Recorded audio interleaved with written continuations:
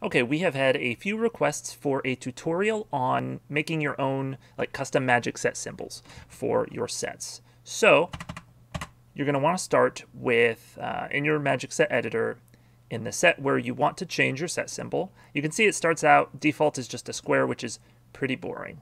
So go over to the set info tab and then here next to symbol, you can see this checkerboard that says double click to edit symbol. So we're going to click on that and it's going to pop up with this window.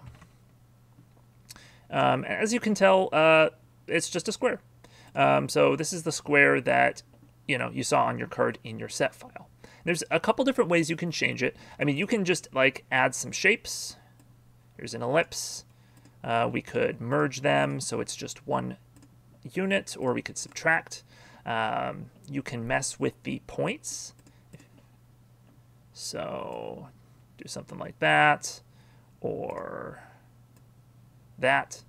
Um, but honestly, I don't feel super qualified to like teach you how to do this part of it because uh, every time I do, it just kind of ends up looking bad. Now, if you want complete control over what your set symbols look like, this is the way to do it. Um, I'm not very good at it yet, um, so really just get creative and um, and work on it um, to get better. But what I can teach you to do is how to find some set symbols and um, you know bring those into your magic set. So um, to that end, we need to go to Google, and I like swords, so um, sword logo.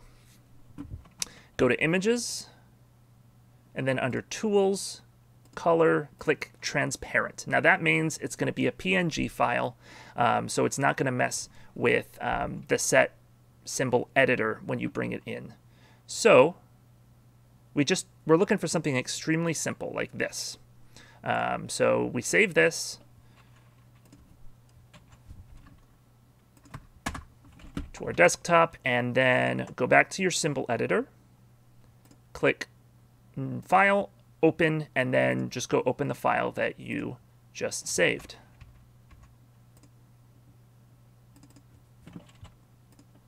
And there it is.